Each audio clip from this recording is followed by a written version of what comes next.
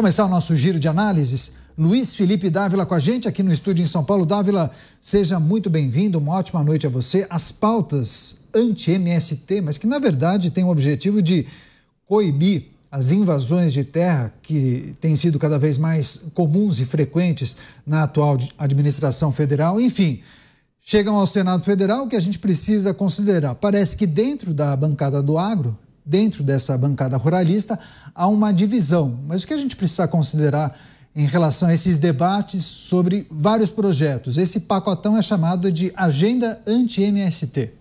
É, é sempre o marketing da oposição, né, Caniato? Boa noite a você, boa noite ao delegado Palumo, boa noite ao, ao Alangani e boa noite à nossa querida audiência.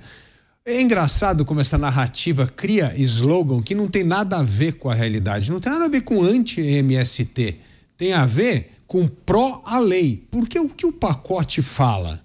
O pacote diz o seguinte: vamos aumentar a punição de quem invade terra, o que está na Constituição respeitar a propriedade privada. Qual outra coisa que o pacote diz? Que vai cortar o benefício de invasores. Está correto. Quem é invasor, quem comete um crime, não pode continuar recebendo benefício social do Estado. Isso é um absurdo total. Como é que um criminoso vai receber benefício social do Estado brasileiro, tá certo? E o terceiro ponto é que não pode exercer cargos públicos nada mais natural. Alguém que comete crime não pode exercer cargo público. Então não tem nada de radicalismo, tem nada. O que esse pacote tem é fazer cumprir a lei.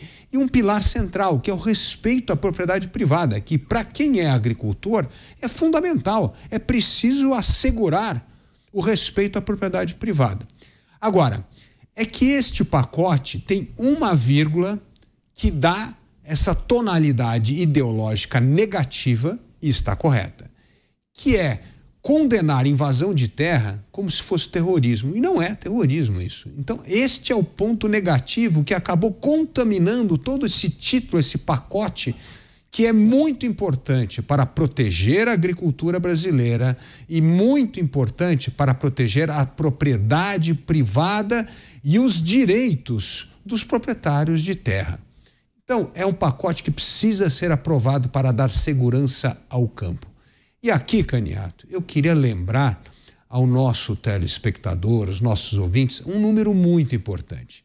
Sabe quantos hectares de terra já foi concedido à reforma agrária no Brasil? 88 milhões de hectares, quase 90 milhões de hectares. Sabe o que esse montante? É maior que toda a área agriculturável produtiva do Brasil, que é em torno de 64 milhões. É um absurdo total. É um latifúndio, é o maior latifúndio do Brasil. Então, vamos baixar a bola, respeitar a lei, fortalecer a agricultura, proteger a iniciativa privada e a propriedade privada, e assim o Brasil vai prosperar.